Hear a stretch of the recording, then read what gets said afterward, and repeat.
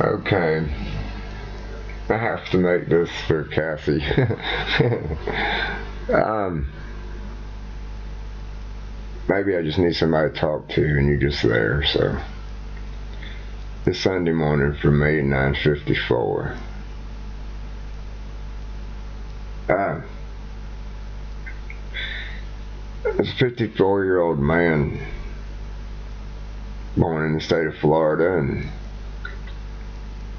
uh, kidnapped by my underage mother and taken across state line and then kidnapped by the child welfare system of South Carolina from the age of three. Denied rights to my father or anything to do with my family. Only to rise up and go find out that it was probably a good idea what the state was doing. I come from a work your ass off world. Um, something you need to know. Enough about me. I'm still the angry, pissed off father of kidnapped children and stolen property over here in the Soviet Union, denied my rights for 12 years, so I'm a little cantankerous sometimes. Um, I look at my life today, and I got six kids. I got three born in one country, three born in another. One of them was kidnapped because I didn't pay a damn bribe. Four billion dollars gone out of a bank in Donetsk. And losing billions a day in equity all over the world because of criminals in central banks. And that'd be what I know is real about me today. And what's prompted me to share this with you, which I'm sure most of the people in my Twitter account know exactly who the hell I am and what I'm doing, or anybody else out here on this wire. Uh, you got to see the uh, fallacy of this entire thing you're witnessing on this internet. Um, the Orwellian state of the dishonest descendants of the killers of the kings be real in the world I live in. I ain't gonna preach at nobody, but I will tell you, as a southern born person that was uh, enabled to see 44 different families before I was 17 years old. Um, I'm the best and the worst that America's ever produced in my own mind over here as U.S. Army Signal Corps graduate that raised his hand for Ronald Reagan when I was 17 years old. Um, my life is important to my children, and I've been denied my right to share my life with my children because of some juridical asshole that lied about who I was and what I was doing. That's what happens when uh, the state tries to put together a one fit solution. So why would that matter today? And how do we get out of the negative and the positive? And the truth is, you can no more separate the darkness from the light. Or, or eliminate the darkness, and I mean, you can't eliminate the darkness. If you did, there wouldn't be any light, and if you eliminated the light, there wouldn't be any darkness, or vice versa. My point being is very simple. Um, the yin and yang binary bipolar nature of the frequency of the tones of the electrical currents uh, of, of the sphere that we live in. It'd be real and, and, and when you graduate from school hard knocks and you've been lifted up on the shoulders of your brothers and sisters that uh, took the oath that you did. And uh, you understand the weight of the god awesome power of, of being U.S. Army radio and auditor. Uh, it's just, it's just, you know, makes you like what I am today, a guy that can't uh, communicate with people. And then you get into the constructs of the different events in my life, just like anybody else's. If you actually listen to people's life, it's just absolutely overwhelmingly dramatic because it's the waveform, the sine wave. Literally, it's it's the highs and lows riding the wave. That's the way I feel, and the way I see the world. So I look back on what it is that I've tried to do juridically in a business, and look at where I'm at today as someone that's just saying, under law, we can end usury, debt, poverty, and war. You, you know, uh, how is it that what I'm thinking and the way I think, how is it wrong? Is the question I always ask. The consummate question, you know, why? You know, um, I, I think um, the ability to remember everything you've ever done, it's uh, it's pure divine intervention. um, but I, I, think it's also a very simple idea. We're products of our environment. And each human being is born at a specific time in a specific location. And it's because of that very simple fact we're all individual, um, at least in our own brain. But then you have to ask yourself a question if there's an I and we, show it to me.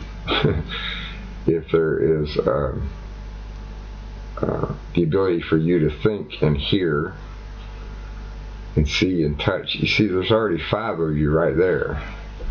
That's what I know because each one of the uh, senses of man can can have highs and lows in it, and it can have different levels of strength and different levels of weak weaknesses. So the way I look at the world is based on a frequency but you know, the damn radio, the ability to reduce things to particulate uh, to particulate matter, and then infecting Zoom upon the graphical interfaces that we've done with the computers. Um, and as I'm listening to myself, understanding, you know, as I'm talking, people are like, "Damn, this guy's all over the place." But that's the whole point. I have, I was born with no filters, and I understand that. But I'm also a victim of crime and a victim of um, health issues, as are we all. so within that, um, what do you do to make your world a better place? Um, understand something. No matter what you see, someone's going to see something else and for you to believe that you can cajole mentally by squawking or uh, you know making a now a sound or, or doing something visible. In other words it's like birds. You know how does one bird get another bird's attention? That's what we all are. We're birds of flight you know. Um, but we are of, of we are the all-seeing eye. So I just I'm, I'm just in, enamored by people's ability to be afraid of who they are. um, for real, people are really uh, the symbols will be their downfall. Well, that ain't really true. But anyway, uh, as you listen to people that emerge out across this web after 37 and a half years, you see um, a, a, great truth. Um, the business plan that I wrote in the 80s, man, there's a better way. We're losing poor, more money per uh, minute uh, in, in, in, the world than, than the world needs. And um, you say, well, what would that actually mean? Well, the predictive analytics uh, the, the, predictive modeling and the uh, quantum computer and, and, and real-time active passive tracking systems and the, the, uh, the global automated payment systems and all the other holdings of this, this ridiculous thing I have built. It's like it's the ultimate Tower of Babel, if you will. and people are like, well, wait a minute, we were told not to do that, so God struck us down, so we can't do it again. That's what people are thinking. I'm like, no, that ain't what he said.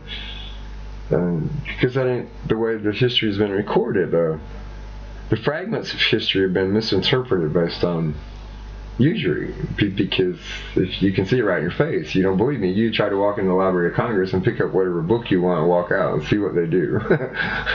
so my point is, it's the hoarding of, of information be the only real problem we have today. Um, the the costs for the equipment uh, and the cost for the connectivity is, is zero today as is uh, everything else because we've been zero in the accounts. And uh, the hardest account to zero would be the central banks because, see, whatever you want to say about central banking systems, okay, bankers have a right to exist in whatever form they understand. What they don't have a right to do is violate law and human and civil rights. And it's because of that uh, the mechanisms of payment will change, and they'll change dramatically, very quickly. Uh, not because me, but because the powers that be in the world have already enabled the legislation that says if you can navigate, then you do a full stop and you say, well, what does that really mean? Well, see, Uncle Sam did it right. You know, mobility, communications, and firepower. Well, I'm going to tell you a secret. Um, mobility, communications, and firepower, that's a basic human instinct. And, and the translation of, of the application of, of the things that you would teach a child. If they're secular based on one person's opinion, then you've elimin eliminated the growth of that child so my logic in what it is that we've assembled for the benefit of the children and the veterans was there are places on this map that says that um, a parent could sit down and say, okay, in year one of school, the child is at this address in, in this country. And year two of that school, they're in this, uh, in other words, you set up a mobile uh, school but but literally it's it's cross country mobile and it's cross county mobile or it's cross wherever so, so, the point B is if you count up the curriculum it would be so many courses in so many things. Well instead of putting them there with the damn textual context and listening to somebody rant and rave in a damn environment that's not really conducive to learning other than uh, implementing peer pressure and, and, and social groups which are kind of alien to me because uh, social groups were strictly family in the world that I read about the republic that I grew up in.